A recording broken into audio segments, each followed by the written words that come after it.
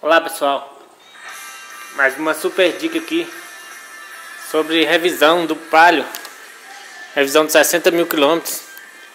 Aqui estão as peças aqui, ó, pede para ser trocado com 60 mil, correia dentada, os filtros todos, né, filtros de ar, de óleo, de combustível,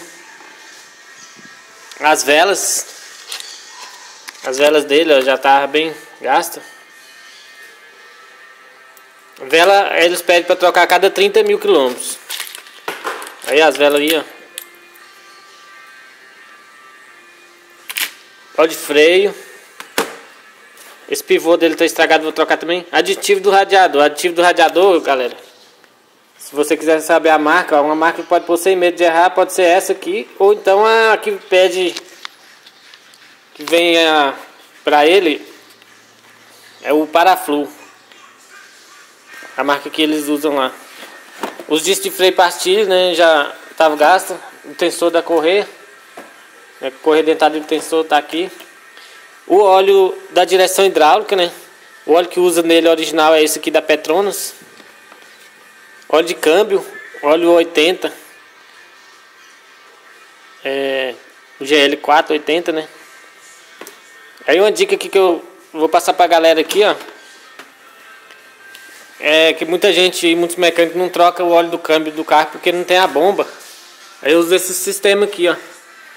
Coloca uma, faz um furinho na tampa aqui, ó, põe uma mangueirinha dessas de jardim mesmo, de regar o jardim. Aí coloca aqui, ó, galera. Aí é só espremer.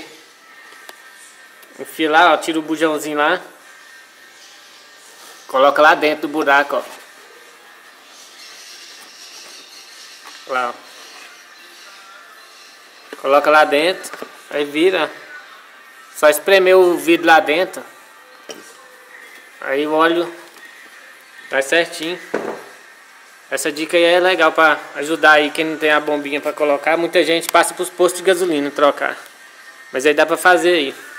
Aqui ó, com 60 mil quilômetros o disco de freio já tá bem gasto. Tá com a rebarba aqui já. Não sei se dá para ver aí. Ó.